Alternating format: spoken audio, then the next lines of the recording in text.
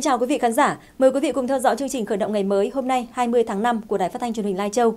Thưa quý vị, Ủy ban nhân dân tỉnh vừa ban hành kế hoạch thực hiện kết luận số 21 ngày 25 tháng 10 năm 2021 của Ban chấp hành Trung ương về đẩy mạnh xây dựng chỉnh đốn Đảng về hệ thống chính trị, kiên quyết ngăn chặn, đẩy lùi, xử lý nghiêm cán bộ đảng viên suy thoái về tư tưởng chính trị, đạo đức lối sống, biểu hiện tự diễn biến, tự chuyển hóa, Việc ban hành kế hoạch nhằm cụ thể hóa chỉ đạo và nhiệm vụ trọng tâm của kết luận 21, chương trình hành động của chính phủ và kế hoạch của tỉnh ủy thành nhiệm vụ, giải pháp phù hợp với điều kiện thực tiễn của tỉnh, tạo sự thống nhất về nhận thức và hành động trong lãnh đạo chỉ đạo, triển khai thực hiện.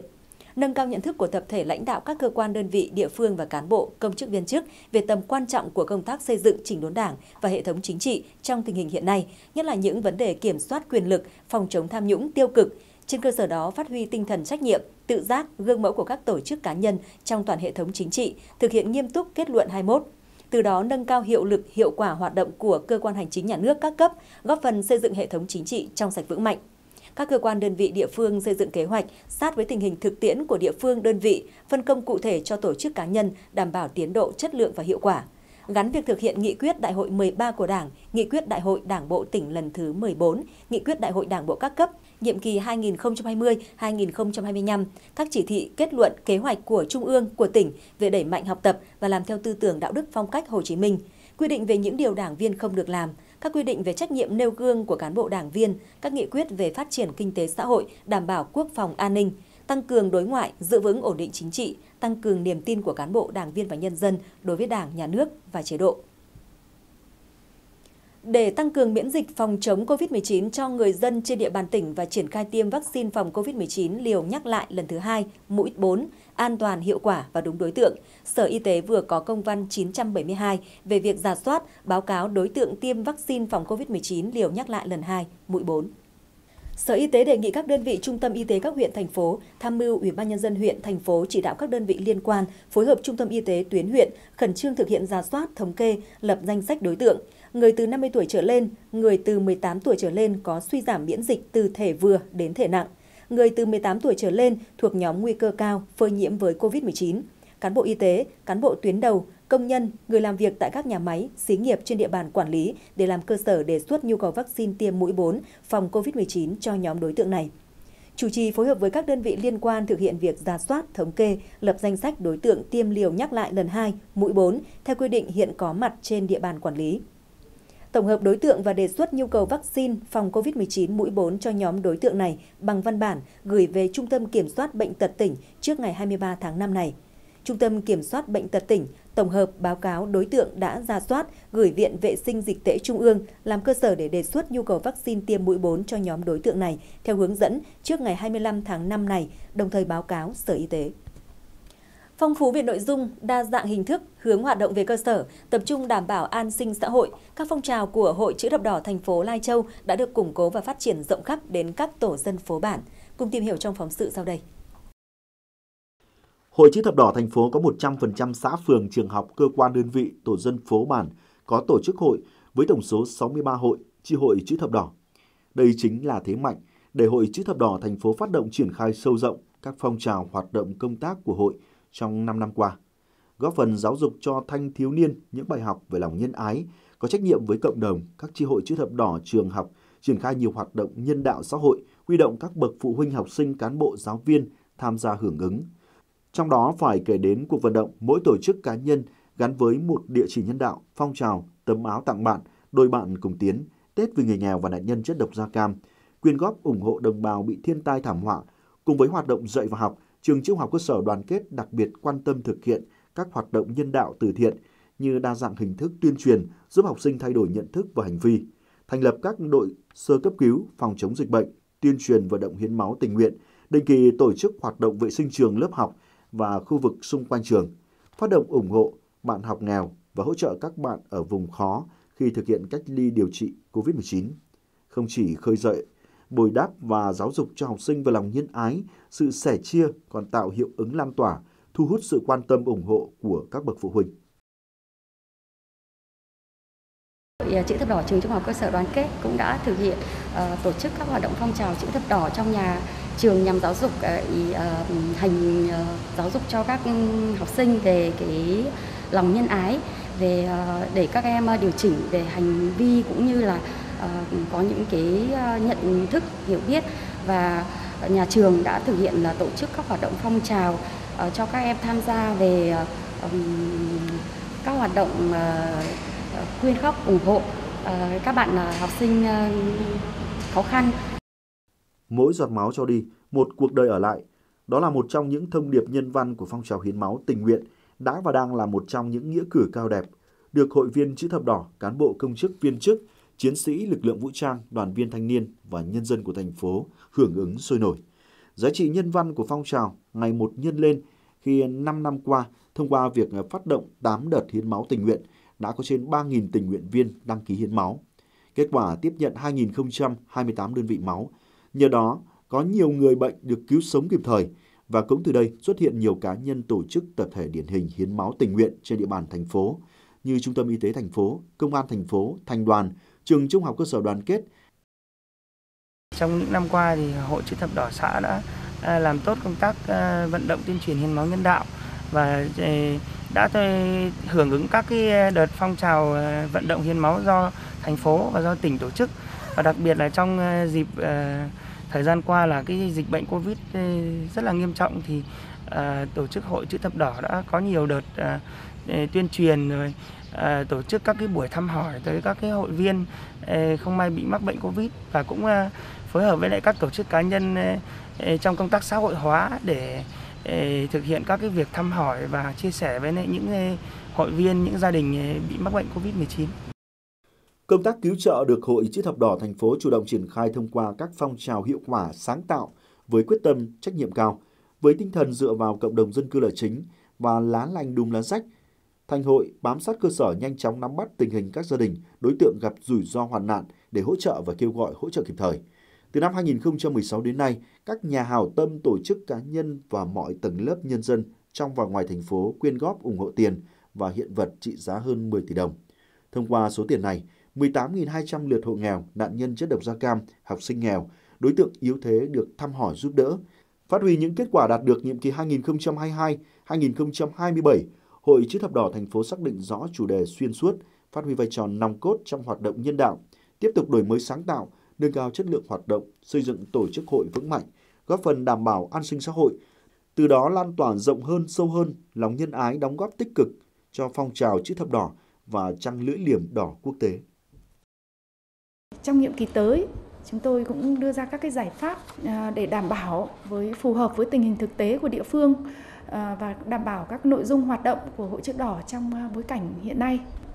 Đó là chủ động đề xuất tham mưu với cấp ủy Đảng, chính quyền tăng cường chỉ đạo lãnh đạo chỉ đạo Hội chữ thập đỏ nắm bắt kịp thời thực hiện triển khai sâu rộng các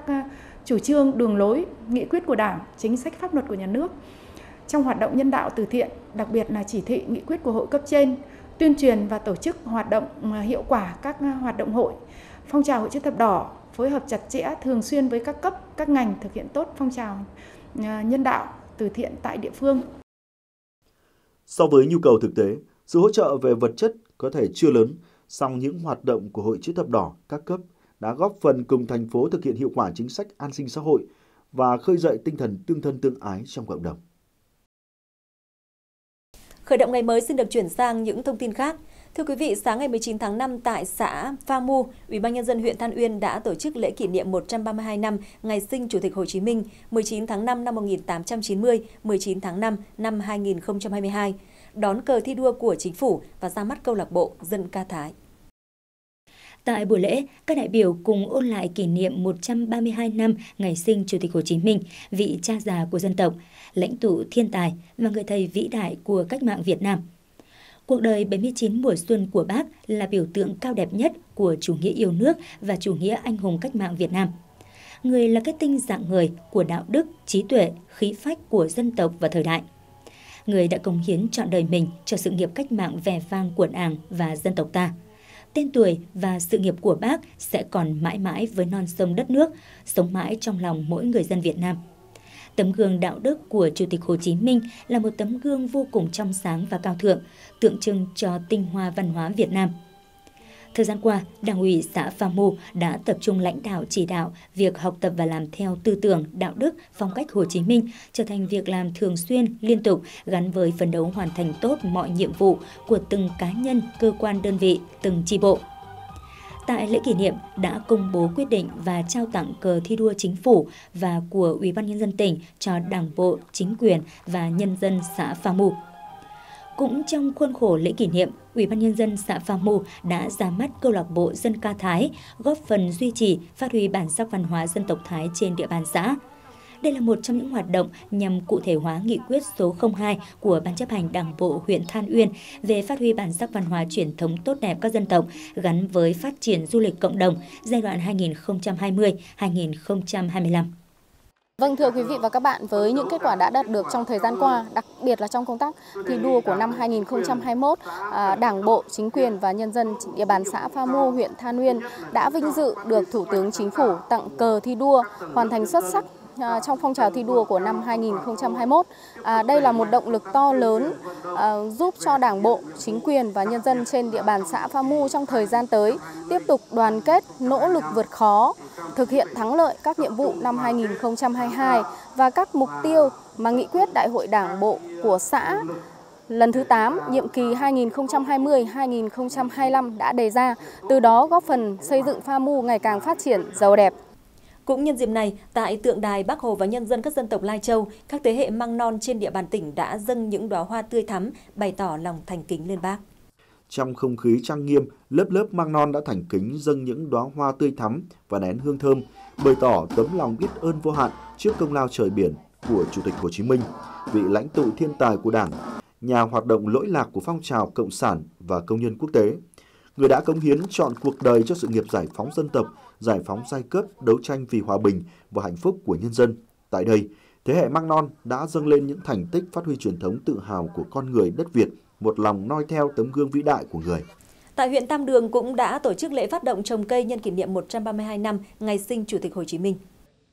Hoạt động trồng cây xanh luôn được huyện Tam Đường chú trọng triển khai và thực hiện. Năm 2021, huyện đã chỉ đạo khoanh nuôi tái sinh, bảo vệ rừng được trên 33.049 ha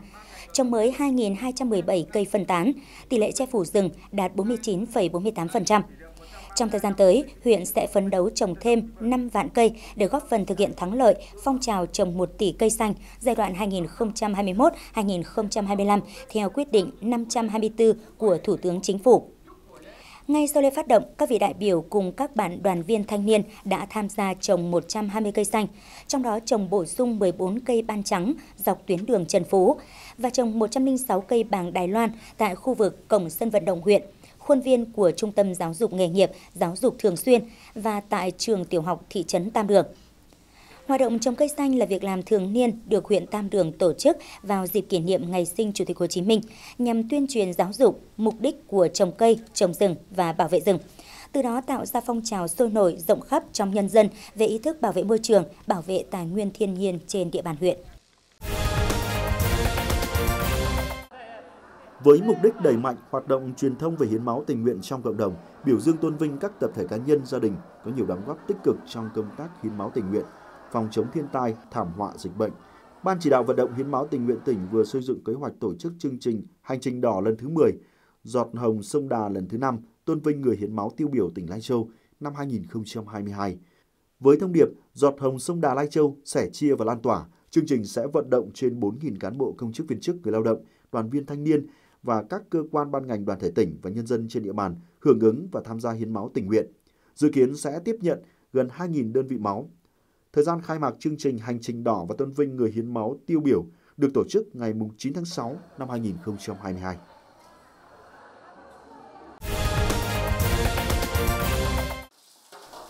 Nghị quyết Đại hội Đảng bộ tỉnh lần thứ 14 nhiệm kỳ 2020-2025 đề ra mục tiêu 99% dân số đô thị được cung cấp nước sạch qua hệ thống cấp nước tập trung vào năm 2025.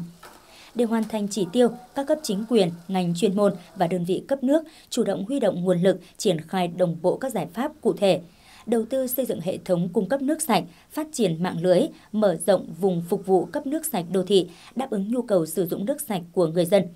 Hiện nay tại thành phố Lai Châu và thị trấn các huyện Than Uyên, Tam Đường, Sìn Hồ, Phong Thổ đảm bảo trên 99% dân số đô thị được cung cấp nước sạch. Khu vực thị trấn tại các huyện Tân Uyên, Mường Tè, Nậm Nhùn đã cơ bản cung cấp nước ổn định trên 93% cho dân số đô thị trên địa bàn. Thưa quý vị khán giả, nhằm giúp người cao tuổi sống vui, sống khỏe, luôn là chỗ dựa tinh thần, động viên con cháu xây dựng gia đình ấm no hạnh phúc, những năm qua, cấp ủy chính quyền thị trấn huyện Tam Đường đã có nhiều hoạt động thiết thực chăm lo sức khỏe người cao tuổi, tư vấn, khám sức khỏe, mổ mắt miễn phí. Đó là những hoạt động đã và đang được địa phương triển khai. Và theo đó thì hàng năm, định kỳ 1 đến 2 lần, Hội người cao tuổi thị trấn phối hợp với trạm y tế khám sức khỏe và cấp thuốc miễn phí cho người cao tuổi. Nhờ được quan tâm chăm sóc sức khỏe kịp thời đã giúp nhiều người cao tuổi trên địa bàn biết cách phòng tránh các bệnh thông thường, góp phần nâng cao sức khỏe, cải thiện đời sống. Từ ngày 16 đến ngày 20 tháng 5 năm 2022, Hội Người Cao Tuổi thị trấn Tam Đường phối hợp với trạm y tế thị trấn tổ chức truyền thông, tư vấn, khám sức khỏe định kỳ cho người cao tuổi tại 13 trên 13 bản. Gần 630 người cao tuổi sẽ được các y bác sĩ khám tim, mạch, hô hấp, tiêu hóa, siêu âm. Đồng thời, được tư vấn phổ biến thêm kiến thức cơ bản về cách chăm sóc sức khỏe và cách phòng chống các bệnh thường gặp ở người cao tuổi – như bệnh tiểu đường, bệnh tim mạch, cao huyết áp. Thứ nhất là các cụ đa số vào mắc vào các bệnh à, các cái bệnh mãn tính không lây đã, Ví dụ như tiểu đường, huyết áp. Thì à, à, về cái bệnh huyết áp thì trạm cũng đã tư vấn, cán bộ trạm tư vấn cho các cụ là cái chế độ ăn, cái chế độ nghỉ ngơi và luyện tập thể dục. Đặc biệt là cái chế độ ăn. Thế và là và cái đi khám định kỳ cho các cụ để phát hiện sớm các cái bệnh. Cũng như hàng trăm người cao tuổi trên địa bàn, định kỳ hàng năm, bà Nguyễn Thị Ngọt, 67 tuổi, ở bàn Tiên Bình, được thăm khám và tư vấn sức khỏe tại trạm y tế thị trấn, giúp bà nắm bắt được tình trạng sức khỏe của mình để chủ động phòng tránh và điều trị bệnh kịp thời. Các ờ, cấp chính quyền quan tâm được đi khám định kỳ sức khỏe hàng năm thì ờ, cô thấy là phát hiện ra nếu như bà con ai mà mắc phải ờ, bệnh thì là phát hiện ra sớm để chữa trị kịp thời. Cho nên là cô thấy cái à, chương trình ưu đãi đến người cao tuổi của các cô như này cô thấy rất là hợp lý đối với Đảng và Nhà nước. Hội người cao tuổi thị trấn Tam Đường có 670 hội viên người cao tuổi sinh hoạt ở 13 chi hội bản. Hàng năm, bên cạnh lập hồ sơ theo dõi sức khỏe cho người cao tuổi, hướng dẫn người cao tuổi đến các bệnh viện khám và điều trị, hội còn phối hợp với các cơ sở y tế khám sức khỏe định kỳ, cấp thuốc miễn phí cho người cao tuổi mỗi năm từ 1 đến 2 lần. Ngoài ra còn đến tận nhà khám bệnh cho những trường hợp có hoàn cảnh đặc biệt khó khăn hoặc không đi lại được. Đến nay, hầu hết người cao tuổi trên địa bàn cũng đã được tiêm hai mũi vaccine phòng COVID-19. Và đi khám thì cũng đạt cái tỷ lệ là từ 90 đến 95% theo kế hoạch đề ra. Thế vậy hiện nay thì chúng tôi là cơ quan thường trực, là giúp cho các đồng chí lãnh đạo địa phương để cùng với trạm y tế và chi hội trưởng người cao tuổi ở các khu dân cư để đôn đốc kiểm tra hội viên của mình, cùng cộng tác với y tá để coi như vậy là đảm bảo đôn đốc cái sĩ số người cao tuổi đi khám bệnh để biết bệnh của mình để nâng cao cái tuổi thọ và đồng thời là à, khám sức khỏe thì cho người cao tuổi kể cả nam và nữ thì các ông các bà các anh các chị là đều qua phấn khởi và yên tâm lao động trong cuộc sống quan tâm chăm lo sức khỏe người cao tuổi. Thời gian tới, Hội Người Cao Tuổi thị trấn tập trung các hoạt động truyền thông hướng dẫn người cao tuổi tự chăm sóc sức khỏe, tiếp tục tổ chức khám sức khỏe định kỳ, sàng lọc một số bệnh thường gặp cho người cao tuổi. Bên cạnh đó, hội cũng lồng ghép nội dung chăm sóc sức khỏe người cao tuổi vào câu lạc bộ liên thế hệ tự giúp nhau duy trì và nhân rộng các mô hình câu lạc bộ thể thao, văn nghệ, góp phần nâng cao đời sống vật chất và tinh thần cho người cao tuổi. Quý vị và các bạn vừa theo dõi chương trình khởi động ngày mới 20 tháng 5 của Đài Phát thanh Truyền hình Lai Châu. Cảm ơn quý vị đã dành thời gian theo dõi. Xin kính chào tạm biệt.